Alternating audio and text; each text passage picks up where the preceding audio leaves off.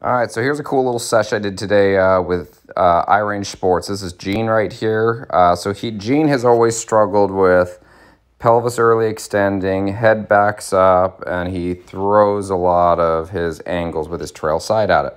So what we're doing right here is he swings this back. You'll notice I've got my hand on his left leg, and I got my other hand on his right rib cage.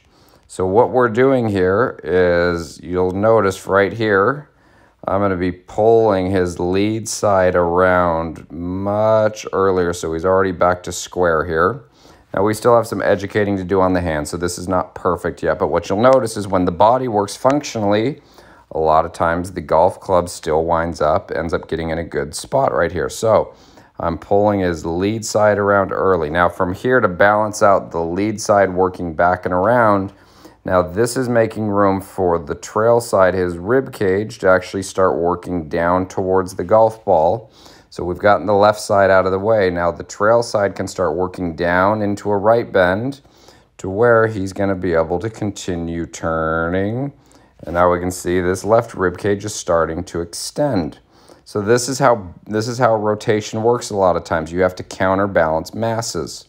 So the lead side, his left side is going low and back which is then making room for his right side to start working down towards the golf ball right here. So what you'll notice right here is as he gets down into impact, let's see if we can freeze it there. You'll see his butt is well behind right here. He's in a very good position in regards to what his spine is, and his head's never left the wall that he's on right there.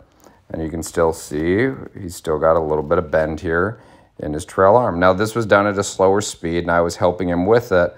But this is what I like doing exaggeration-wise to give players a feel of what they've never had before. This is this is one of the first times this guy has actually felt what it's like to just turn through a shot without having a lot of throw at the bottom, not pulling on the handle. And like I said, we've still got some educating to do on what the wrists need to do and what the club pressures need to.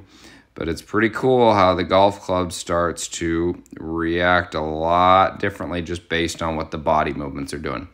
Let me know if you have any questions on this. Hope you enjoy.